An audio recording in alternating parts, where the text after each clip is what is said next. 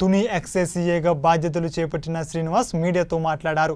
పశ్చిమ గోదావరి జిల్లా కొవ్వూరులో చేసి ప్రస్తుతం స్పెషల్ ఎన్ఫోర్స్మెంట్ బ్యూరో ఆఫీసర్గా తుని నియోజకవర్గానికి నియమించారని తెలిపారు. తుని పట్టణంలో తొండంగి మండలం కోటనందూరు మండలాల పట్ల పూర్తి అవగాహన చేపడుతున్నానని ఈ మూడు మండలాలపై పూర్తిగా నిఘా పెడతామని అన్నారు. అసాంఘిక కార్యకలాపాలకు పాల్పడే వారిపై కఠిన చర్యలు తీసుకుంటామని ఆయన హెచ్చరించారు. నేను special enforcement bureau circle inspector Tuni.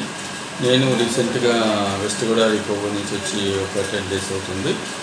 నేను చాట్ తీసుకోవడం జరిగింది. తుని ఏరియా మొత్తం ఇప్పుడు కొంచెం అవగాహన చేసుకుంటున్నాము.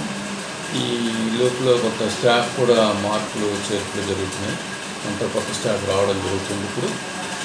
వచ్చిన తర్వాత అయినా వచ్చిన తర్వాత నేను మొత్తము అసలు ఏంటి తునిలో టౌన్ కానీ ఉండాలి మండలం కోటనందూరు అనేది ఎన్ని రోజులు అందరికీ మొత్తం ఎక్కడ కూడా లేకుండా మేము నిఘా ఏర్పాటు చేయడం జరుగుతుంది.